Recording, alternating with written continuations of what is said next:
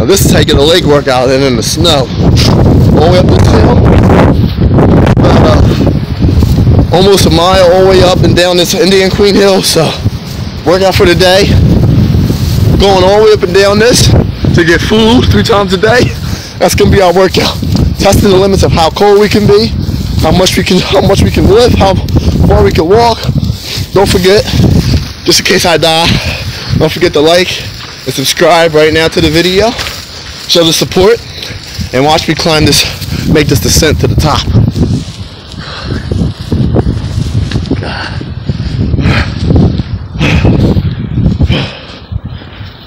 Great work, leg workout. I get some food. I'm gonna be starving. We already went a little distance. You can see my tracks. Ain't nobody else out here besides me, so you can see my tracks out here. I'm gonna tear this up. Woo. It's ought to be fun. It's ought to be interesting. I'm gonna love it. Hands are freezing. I'm gonna have to put the camera away. So hands are getting a little cold. So I'm gonna put the camera away and then I'll bring it back out. We're almost at the top and I'll record it again. So take a little break. About a half mile up, Killer Mount, Indian Queen. Kept climbing Mount Indian Queen Street and it's this is brutal. So I came a little ways, a long ways. Sorry the camera's a little bit. It's, uh, it's snowing or something. And I'm actually pretty tired. My legs actually hurting a lot. They are. This is brutal. We're definitely trekking through this. Food's gonna be so enjoyable.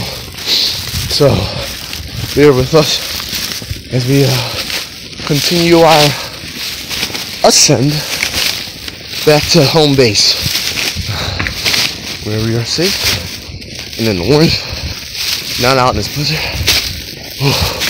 I did legs yesterday too, so this is actually making this walk a lot more brutal than it should be. So, continuing our descent, up back up.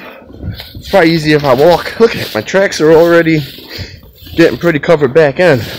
I just came back down about 30 minutes ago. So, but I'm out of breath. Hands are getting cold again. So, bring it back out when we're much closer this time. I may be getting gangrene. Probably just gonna have to chop off the whole arm just in case.